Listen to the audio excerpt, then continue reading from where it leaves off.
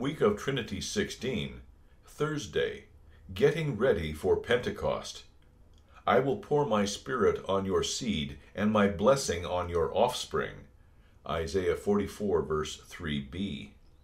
Dear redeemed, the Son of God is the fountain of living water that flows forth, giving good gifts for the welfare and benefit of his church. In addition, he will pour out the Holy Spirit on the spiritual descendants of the faithful for the proclaiming of the word to the world. The prophet Joel spoke of a future pouring out of the Holy Spirit when he wrote, And it shall come to pass afterward that I will pour out my Spirit on all flesh. Your sons and your daughters shall prophesy, your old men shall dream dreams, and your young men shall see visions. At the Feast of Tabernacles, or booths, Jesus spoke about that great day. But this he spoke concerning the Spirit, whom those who believed in him were to receive, for the Spirit had not yet been given, because Jesus was not yet glorified. John 7, verse 39. People who believe in Christ do so because the Holy Spirit has worked faith in their hearts through the word of the gospel. Thus, the Holy Spirit was given to Adam and Eve, Peter and Andrew, you and me.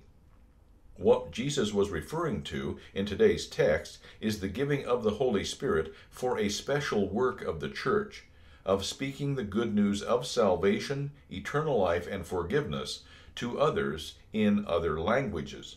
This would be fulfilled on Pentecost, when the apostles were given the Holy Spirit and enabled to speak the gospel in foreign languages. Jesus told of that coming day. The disciples were not yet ready for it. They had more doctrine to learn, much more practice, learning by listening, struggling to properly distinguish and apply law and gospel. The day would come. It would be after Jesus was glorified. That is, it would be after his hour had come, and he would be betrayed, beaten, scourged, crucified.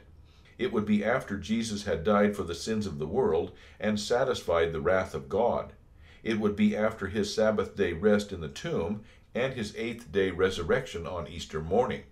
It would be after his ascension. Then he would give the Holy Spirit on the fiftieth day after his rising from the dead, on the day of Pentecost. Then many, in their own languages, would hear about Jesus, the Savior of the world. Prayer. O Lord God, Heavenly Father, who by the blessed light of your divine word has led us to the knowledge of your Son, I most heartily beg you so to replenish us with the grace of your Holy Spirit, that we may ever walk in the light of your truth, and, rejoicing with sure confidence in Christ our Savior, may, in the end, be brought into everlasting paradise. May this gospel go forth and be a blessing upon our offspring and upon generations unborn. Bless especially the work of Bible translators. Amen. Hymn number 247, stanzas 3 and 5. Thou fountain whence all wisdom flows, which God on pious hearts bestows, grant us thy consolation, that in our pure faith's unity we faithful witnesses may be of grace that brings salvation. Hear us, cheer us, by thy teaching, let our preaching and our labor praise thee, Lord, and bless our neighbor. Thy heavenly strength sustain our heart, that we may act the valiant part, with thee as our reliance.